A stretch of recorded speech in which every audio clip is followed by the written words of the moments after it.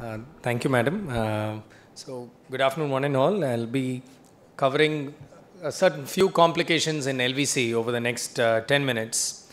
So, complications in LVC usually is probably a part of a miscalculated risk, some red flag signs which we've overlooked either intraoperatively or postoperatively, leading on to these issues. So, I'll just quickly cover some intraop issues first. Uh, primarily, initially starting with the docking and placement of the uh, laser itself. So, in case you have a slightly decentered dock, uh, can I have the mouse which is working, please? So, uh, in a decentered dock, either in both in microkeratome as well as in femtolaser, you can actually have these kind of decentered flaps which are partly uh, very close to the visual axis. If they are very close to the visual axis, it's best to completely avoid any kind of treatment uh, and then uh, subsequently uh, do, the, do a surface ablation at a later date. But if you have a sufficient about 2 to 3 millimeter clearance from the visual axis, you can actually go ahead and uh, complete the laser treatment as well. Uh, there are on occasions when, especially with the femtolaser, both in SMILE as well as in femtoLASIK, where you may have excessive uh, OBL, which is uh, ca- causing uh, a higher, which can be either because of a higher femto energy delivery if you haven't optimized your parameters, or prior to your dock, if you've had a fairly dry surface. So it's important to have not excessive pooling of fluid, but a thin tear film before you dock a patient for a femtolaser either in SMILE or femtoLASIK. Otherwise, your uh, laser delivery might be quite poor, leading on to such difficult dissections. Now, subsequent to docking and placement, we have issues with ring sizing with the microkeratome, uh, which can lead to consequent disasters like buttonhole and free flap. So, for a steep cornea like this, you should always anticipate the possibility of having a buttonhole. As you can see here, there is a small focal area which has got a buttonhole, and if it's such closely to the visual axis, it's best not to raise the flap. Just uh, uh, reposit it back, place a BCL, allow it to heal, and then at a subsequent date do a surface ablation procedure and not proceed with the treatment. Now, with these flat corneas, you can lead up with this nightmarish situation of having a free flap. As in such a case, it's always, always uh, preferable to mark the cornea prior to doing a, a flap, even though this complication might be 1 in 2000.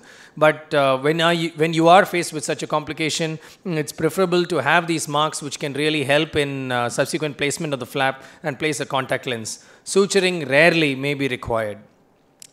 Uh, it's a, a careful preoperative examination is invaluable in such eyes which have subtle scars which may be missed. The laser can actually track through these uh, subtle scars and come to the anterior surface, leading on uh, to this vertical gas breakthrough, which in a sense basically causes a buttonhole.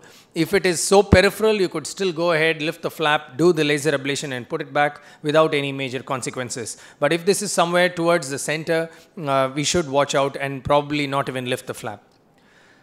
Suction breaks are definitely issues with uh, any femtolaser. Uh, you could have pseudo suction in microkeratome as well, which can lead to greater disasters like these partial flaps, incomplete flaps, or inadequate flaps. All of which are cases where you have to just abandon the procedure and uh, not go ahead with any treatment whatsoever and just uh, live to fight another day and do a, a surface ablation procedure at a later date.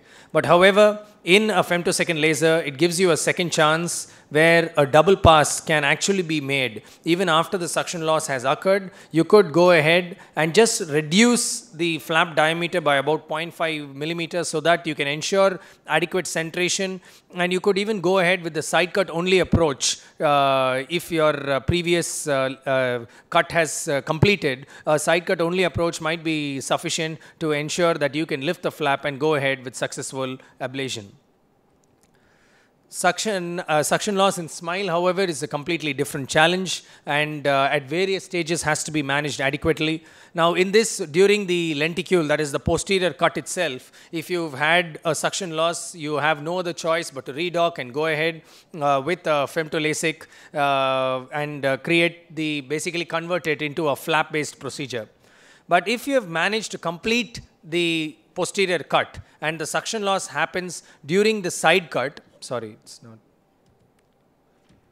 Yeah, eh, and happens either during the side cut or the cap cut, then it is actually possible to proceed again with a smile. But in this case, it's very important to ensure that you have adequate centration during your uh, subsequent dock so that it is centered or similarly centered as it was during your previous dock you would do well to uh, in, uh, change the diameter by 0.2 to 0.4 if uh, your suction loss has happened during the cap cut. And uh, yes, we have to watch out that your subsequent dissection of the lenticule can be a little more challenging and careful dissection is required to ensure that the lenticule has been removed in toto. Postoperative issues, uh, microstriae are very common, especially in uh, deeper, larger, uh, higher myopic ablations, and usually a conservative approach is sufficient. But rarely, if the microstriae are in the visual axis and causing any decline in the uh, BCVA, then it is uh, you could go ahead and uh, hydrate and reposit the flap, and that usually takes care of the microstriae. Macrostriae are, on the other hand, require immediate attention and uh, it's usually just floating and stretching them may not be sufficient. The epithelium is causing a puckering effect over the flap and so careful debridement of the epithelium, then hydrating it and putting it back and uh, ironing out the flap in a direction perpendicular to the direction of the striae is essential and then subsequently hydrate it and put it back a small degree of PTK can also be done if you're uh, worried about manually debriding the epithelium. The PTK itself, without causing any damage to the underlying flap, can help in removing the epithelium and the puckering effect is relieved, which can subsequently help in uh, uh, treating the macrofolds. Epithelial ingrowths, though rare, especially after a retreatment or if you've had a flap related complication can occur and uh, they can really when they advance lead to disastrous complications like flap melts and uh, decline in vision. So need to be managed early and adequately if they are progressive. So uh, at the edge, you could just lift the flap edge alone and uh, cause, uh, debride both the undersurface and the posterior surface of the flap including a little bit debridement of the epithelium just beyond the flap edge is also useful to prevent recurrence of the uh, epithelial ingrowth and uh, to prevent any uh, excessive haze or scarring, which is quite common subsequent to uh, debridement of these epithelial ingrowth, you could mitigate it by applying some mitomycin C both on the back surface of the flap as well as on the bed and ensuring that uh, you're, you're minimizing the extent of fibroblastic activation which may occur subsequent to this procedure in these rare situations where a patient had had a free flap and subsequently a very extensive uh, uh, you know epithelial ingrowth where the flap is exceedingly unhealthy and uh, it's very difficult to retain the flap in these kind of situations, though very rare, it's probably just best to amputate the flap. This, this particular patient had developed this after a subsequent trauma, which had led to a flap displacement and the flap had been sutured, mm, but then developed a secondary epithelial ingrowth. So we were left with no choice but to just remove this unhealthy flap, uh, debride the surrounding epithelium and uh, the back surface, removing all the ingrowth, apply some mitomycin C again to reduce the extent of scarring. And you'll notice that it can be actually quite gratifying in these recurrent cases of epithelial ingrowth. And this was the picture of the patient three months post-operatively with a very small residual error had a completely clear cornea. And this is definitely possible to achieve uh, if you, uh, you know, uh, take the right precautions, apply mitomycin C for a sufficient period of time, preventing any haze from developing in these situations, which can happen. DLK again uh, rarer with the newer, uh, uh, I mean, better instrumentation that we have today, but uh, can be a complication. It's important to di uh, diagnose uh, or rather differentiate DLK from a slightly lesser known entity, which is CTK. So CTK is just basically a central toxic keratopathy, which can happen anywhere between 3 to 9 days, unlike DLK, which is usually within the immediate first 24 to 48 hours itself.